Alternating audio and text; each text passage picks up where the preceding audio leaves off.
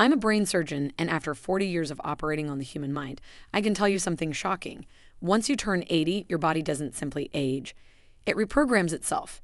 It's as if a hidden switch flips deep inside your brain and your entire system starts obeying a new set of biological laws, ones that no one told you about, not even your doctor. This isn't rare, it's universal. According to new research from the Lancet Healthy Longevity, every human body crosses the same five irreversible thresholds once it reaches 80. It doesn't matter if you're a marathon runner or a lifelong vegetarian, your muscles, your taste buds, your skin, your brain, and even your sleep clock start behaving differently. Your body isn't breaking down, it's switching strategy, it's choosing survival over performance. That's what most people don't understand. Aging isn't a slow decline, it's a silent reorganization happening inside every organ. Your body is rewriting the code that's kept you alive for eight decades. Some of those changes protect you. Others accelerate the very thing you fear most fragility, fatigue, and forgetfulness. In this video, I'll reveal the five biological transformations that happen once you turn 80, the ones no test or doctor's visit can stop. But stay till the very end because number three will shock you. It's something happening inside your brain right now that can quietly determine how long you'll live and how peacefully you'll sleep before the end. All medical studies and references are listed in the description. You can verify every fact yourself. Before we start, tell me in the comments how old are you? My team and I read and reply to every single story personally. Now, let's begin with number five, the first sign that your body has officially crossed into its final adaptation phase, and it starts right where your senses begin your tongue. Number five, your taste buds shrink, and food stops feeling like food. Once you turn 80, your world doesn't just slow down, it starts to taste different. Literally, one of the first things that quietly changes is your sense of taste, and scientists now know this isn't just about preference or appetite, it's biology rewriting how your brain interprets flavor. By age 80, the average person has lost nearly 70% of their taste buds, according to research from the Monell Chemical Senses Center. These microscopic sensors, the ones that once let you savor your morning coffee or enjoy the sweetness of ripe fruit, begin to flatten and die off. Each taste bud lives only about 10 days before being replaced, but as you age, your body stops regenerating them efficiently. The result? Meals lose their magic.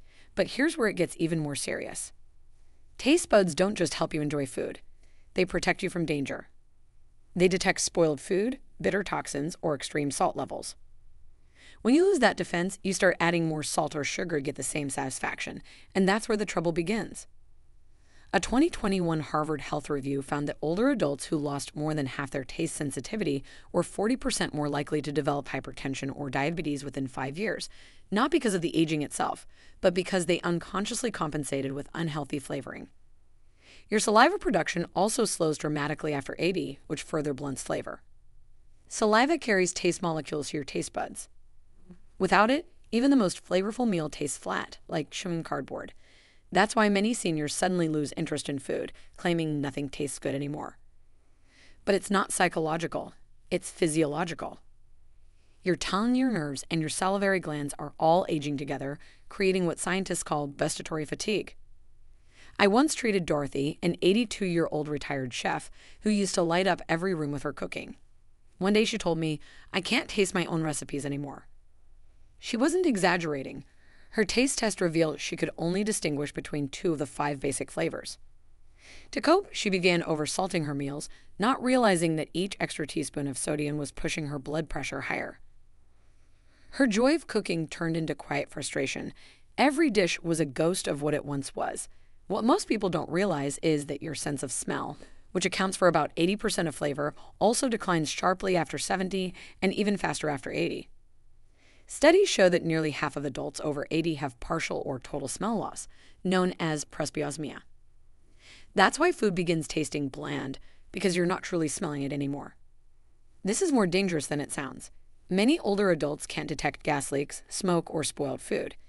And with reduced appetite, they begin eating less, spiraling into malnutrition without realizing it. So, if flavors are fading, don't ignore it. It's not about missing a meal, it's about missing the signals your body depends on to stay alive. Next up is number four, and this one goes even deeper than your tongue. Before we dive deeper, show your support by liking this video and subscribing. You can't afford to miss the next secret. Number four, your skin forgets how to heal. By the time you turn 80, your skin isn't just wrinkled, it's forgetful. And that forgetfulness isn't cosmetic, it's biological. Scientists now know that your skin, the body's largest organ, literally starts to forget how to repair itself. A small cut that would have healed in a few days when you were 40 might now linger for weeks or even months. It's not just slower, it's confused. A landmark 2022 study from Nature Aging discovered that after age 80, skin cells lose their molecular memory. This means that when you get injured, even something as tiny as a scratch, your body struggles to remember how to rebuild the tissue. Normally, fibroblasts, the cells that make collagen and repair wounds, rush to the site, follow a genetic map, and patch things up. But in older adults, that map starts fading. The cells wander. They respond late, weakly, or not at all. That's why so many people over 80 complain that their wounds take forever to heal, or that bruises seem to appear from nowhere. It's not bad luck, it's a system breakdown. And because the skin also thins by nearly 20% after 80, those wounds go deeper and get infected faster. But the slowdown doesn't stop there. Your blood vessels, which deliver oxygen and nutrients to the skin, also harden with age. That means less circulation, less immune response, and less collagen, the protein that holds your skin together like scaffolding. According to a Journal of Dermatological Science review, collagen production drops by 75% between ages 25 and 80. By that point, even a mild bump can rupture fragile capillaries, causing large purple bruises known as senile I once treated Marjorie, an 83 year old woman who showed me a tiny paper cut on her hand. It's been here three weeks, she said, frustrated. I keep cleaning it, but it just won't close. Her test results were normal no diabetes, no infection, just slow cellular response. Her body wasn't broken, it had simply forgotten how to finish the repair. This forgetfulness has a deeper cause epigenetic drift. Think of your skin cells like students that once followed perfect instructions. With age, those instructions fade and they start guessing. Some repair too little, others repair too much, forming scar tissue. The coordination that once made healing effortless is gone. That's also why older adults are more vulnerable to skin tears, ulcers, and infections, even from something as simple as scratching dry skin. And because your immune cells weaken too, bacteria get a head start. Studies show that skin infections in those over 80 last three times longer than in middle aged adults. But there's a hopeful side to this story. Researchers are experimenting with low level laser therapy and collagen peptides, both of which are shown to improve wound healing speed by up to 50% in seniors. Hydration, vitamin C, and gentle sunlight exposure can also help reactivate fibroblast activity. So, when your skin takes longer to heal, it's not vanity, it's communication. It's your body saying, I remember less, so I need more care. Next up is number three, and it's one you'll feel every night, not on your skin, but deep in your brain and blood. It's the reason so many people over 80 start waking up at 3 a.m. without knowing why. Number three, your brain starts rewiring itself. Around age 80, something extraordinary and unsettling begins happening inside your head. Your brain starts quietly rewiring itself, not because it wants to, but because it has to. By this point, you've lost nearly 20% of your brain's white matter, the neural highways that connect your thoughts, memories, and movements. To survive, your brain starts rerouting signals, creating new detours around fading circuits. It's an act of self preservation, but it comes at a cost. According to a 2022 Nature Neuroscience study, this rewiring is your brain's way of compensating for decades of wear and tear. As neurons die or lose efficiency, nearby ones take over their jobs, forming improvised backup routes. The result?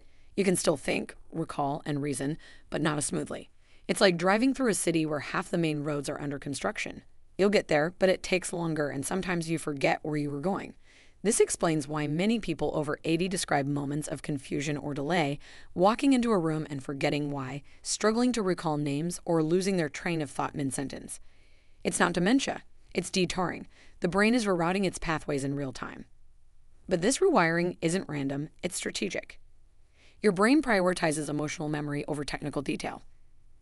That's why at 82, you might forget what you had for lunch, but vividly recall the smell of your mother's kitchen from 70 years ago.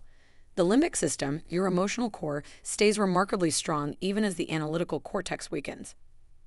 I once spoke with Albert, an 84 year old retired engineer, who laughed as he told me, I can't fix a toaster anymore, but I can remember the day I met my wife in 1959 like it was yesterday.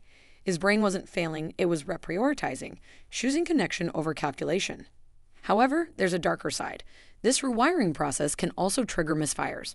When new connections form incorrectly, they cause slower reaction times, unsteady balance, or sudden emotional changes.